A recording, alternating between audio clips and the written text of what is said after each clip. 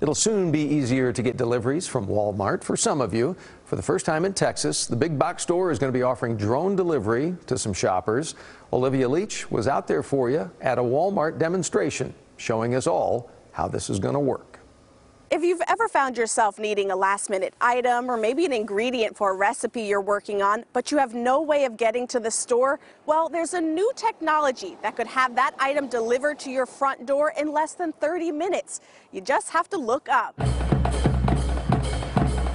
Students at Piedmont Global Academy in South Dallas did just that this morning as a drone airlifted a package from Walmart to the school's front lawn right before their eyes. Being able to expose students to new things that make them excited, anything that makes students excited about school, excited about learning. I've never seen nothing like it, like stay 80 feet in the air and then just drop something. Eighth grader Regina Schaffner flies drones in her free time. It's kind of like you playing a video game. After today, she's even more inspired to pursue a career in technology. I would pursue it as a career and in college because I mean I love technology and like uh, coding it.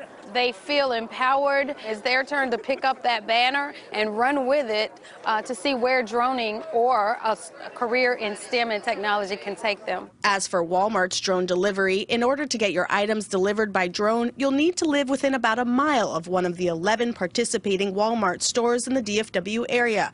And for a delivery fee of $3.99, you'll get your drone delivered package in 30 minutes or less. It's amazing how fast this technology is moving. The future is here. Olivia Leach, CBS 11 News.